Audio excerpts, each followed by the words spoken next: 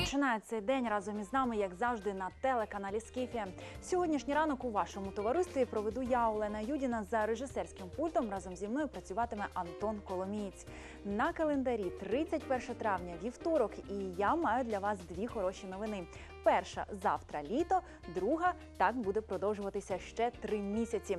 Тільки но уявіть собі, три місяці літа, 92 дні свободи, 2208 годин щастя, 132 тисячі 480 хвилин блаженства, 7 мільйонів 490 48 секунд яскравості. Принаймні таким нам уявляється цьогорічне літо, таким його для вас будемо робити ми.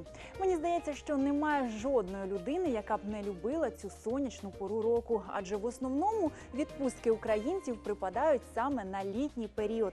Отож, бо для любителів цієї спекотної пори у всіх сенсах цього слова найцікавіші факти про літо. Виявляється, що влітку у Франції Ейфелева вежа зростає на 6 дюймів через розширення заліза у спекотні дні. Найдовший же день літа припадає на 21 червня. Це день літнього сонцестояння.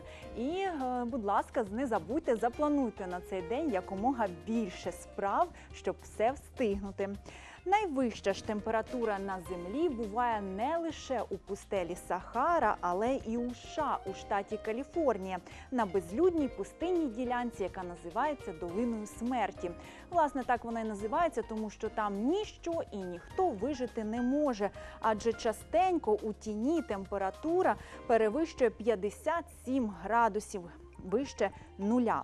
За температури ж навколишнього середовища 37-39 градусів вище нуля людина, організм людини здатен випаровувати до 300 грамів поту.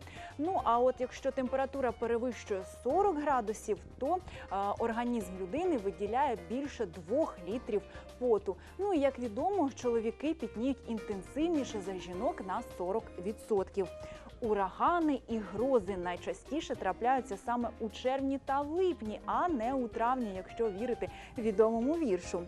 Ну і 1816 рік запам'ятався як рік без літа, е, коли в Європі та в Північній Америці панувала надзвичайно холодна погода. До сьогоднішнього дня він залишається найхолоднішим роком із початку документування метеорологічних спостережень. У США його так і прозвали 1800 замерзлий насмерть.